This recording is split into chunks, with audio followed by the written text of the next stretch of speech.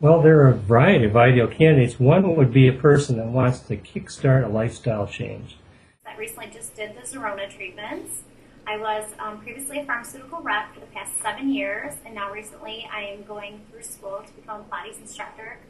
I personally wanted something that was non-invasive. I didn't want any downtime. Um, I currently work out five days a week, generally for about six hours. So for me, I just, you know, I didn't want to take any time away from working out and my life. But I've always had um, a couple of those extra inches I've never been able to lose. So I came into Dr. Burke's office three times a week, 20 minutes on each side, laid down, read a book, and worked.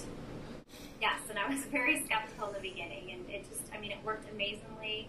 There was zero pain. Um, I had a total of four and a half pounds lost four and a half inches.